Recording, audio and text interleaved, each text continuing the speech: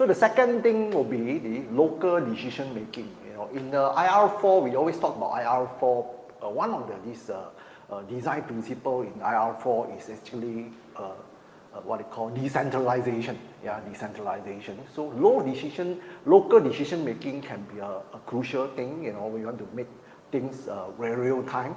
So that's why Edge AI has got this Edge AI or Edge IoT or IoT Edge, you know, has these uh, uh, capabilities of making decisions locally because it has its own computing power that is sitting, although very small, you know, but it's enough to uh, get up to what kind of decision that you want to make, you know, at, at, the, at the moment. So in a very real time form.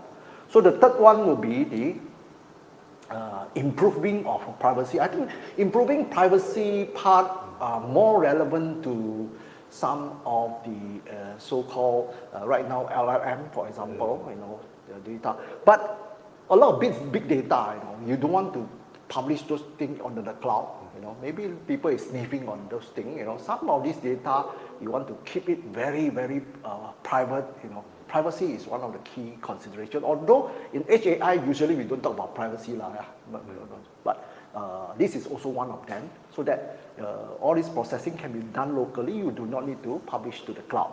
Uh, that is the third one.